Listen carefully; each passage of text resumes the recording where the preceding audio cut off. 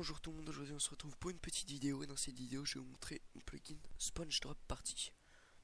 Donc hop, il y a la page euh, ici. Euh, donc euh, j'ai fait une petite présentation vite fait. Euh, voilà, le plugin est à 2 euros, il y aura le lien de la page dans la description. Et voilà voilà. Maintenant je vais vous présenter comment l'utiliser, présentation en jeu.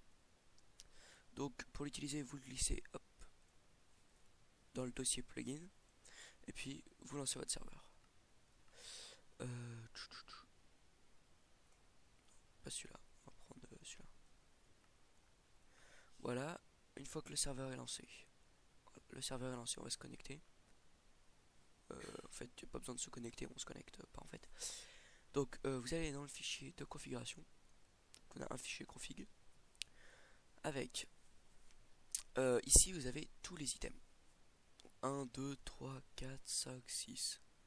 Vous en ajoutez à 7, 8, 9, 10, autant que vous voulez. Avec l'ID de l'item, 276, c'est une épée en diamant. La data, donc si par exemple c'est des, des glaces, euh, des glaces colorées, des vitres colorées, il y a une ID et puis une data pour euh, colorer la vitre. Ensuite, on a le nom. Donc là, j'ai mis Super Sword avec le code couleur qui fonctionne. On peut activer le nom ou le désactiver. Pareil avec les lores, donc la description de l'item. Ensuite, euh, le nom d'item, donc là il y en a un. L'enchantement, si on active ou pas. Donc vous pouvez activer ou désactiver les enchantements. Euh, enchantement ID. Donc si vous activez, vous mettez l'ID d'un enchant d'un enchantement.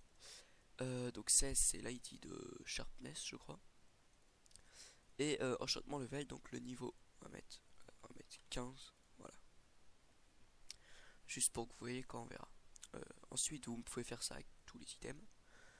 Voilà, donc là, il y en a 6 de base. Ensuite, on a time. Donc ça, ça veut dire euh, toutes les 10 secondes, ça va lancer une drop partie. Voilà. Ensuite, on a time drop. Donc c'est toutes les 1 seconde. C'est toutes les. Là, ça va être toutes les 1 seconde que ça va lancer un, de ces items en fait. Et time euh, drop duration, c'est euh, le temps que dure une drop, par une drop party. Ensuite, on a deux messages. Le message qui sera envoyé à tous les joueurs quand, à tous les joueurs quand une drop party démarrera. Et le message qui sera envoyé à tous les joueurs quand une drop party finira. Ensuite, on a les effets. Donc, Hertz, donc c'est des cœurs qui apparaissent au lancement de la drop party. Firework, c'est des fireworks qui apparaissent au lancement de la drop party. Flame, c'est des effets, c'est des flammes qui apparaissent euh, autour du bloc d'éponge. Euh, enfin, vous verrez en jeu, en gros. Spell instant up, spell instant down, explosion, cloud. Donc ça c'est au niveau des effets. Vous pouvez activer et désactiver. Et les sounds, on peut activer ou désactiver euh, les sons justement. Level up et explode. Voilà. Une fois que c'est configuré, vous sauvegardez et puis vous relancez votre serveur ou vous reloader. Voilà, moi j'ai rien changé en fait. Et vous avez un fichier data, mais là vous il n'y a rien besoin de configurer dedans en fait. Donc on va se connecter au serveur. Voilà. Ah j'aime pas trop celui-là. Non.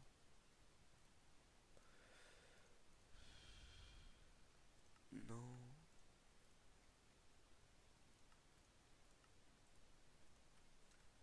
Euh, surtout pas. Je choisis un vite fait. Ah, celui-là j'aime bien.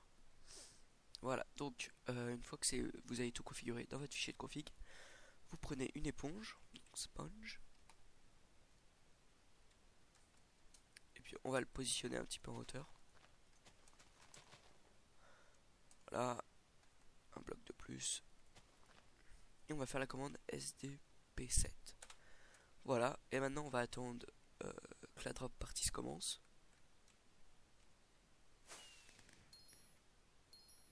Voilà, la drop partie a commencé. Euh, on voit qu'il y a les clouds à la fin là. C'est nuages, l'effet nuage. Les messages qui sont envoyés, les cœurs, les fireworks. Ça c'est les flames dont je vous avais parlé. Euh, sinon on va voir spell instant up, spell instant down. Ici vous voyez les petites particules blanches qui partent à chaque fois. Il y en a en haut et en bas. Donc c'est spell instant up, spell instant down. Euh, sinon on a les sons. Vous voyez, chaque fois que ça met des flames, ça fait un son. Donc ça c'est à chaque fois que ça drop un item, que ça met les flames aussi. Et puis il y a un son à la fin aussi. À la fin de la drop partie, il y a un son qui se lance. Voilà. Un son d'explosion. Maintenant on va regarder un petit peu euh, les affaires. Euh, aussi, euh, pour stopper la drop partie, vous avez juste à péter le bloc. Voilà, plus de drop partie. Prochainement, il y aura multiples drop parties qui sera ajouté. Et aussi la possibilité de stopper des drop parties via une commande. Ou de les démarrer via une commande. etc. etc. C'est à peu près ça pour l'instant. Puis maintenant on va regarder les items qui ont été droppés. Voilà. Donc on a tous les items qu'on a configurés dans la config presque. Voilà, et on va voir maintenant. Donc, euh, il y a leur nom ici. Hop. Euh, d'ailleurs, j'ai oublié de reload. Normalement, c'est enchantement sharpness 5. Hein. C'est juste que j'ai oublié de reload. C'est pour ça. Je vais mettre une sponge pour vous montrer que c'est bien enchantement niveau 15.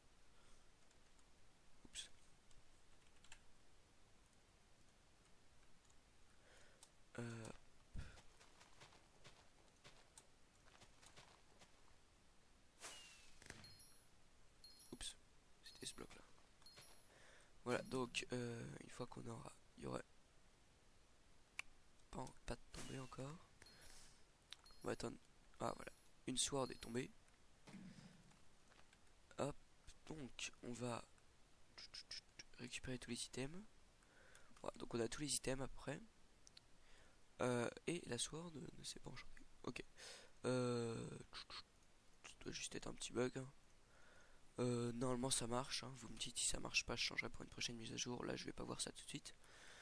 Donc on a les noms des items, ainsi que le lore et les enchantements qu'on leur a mis.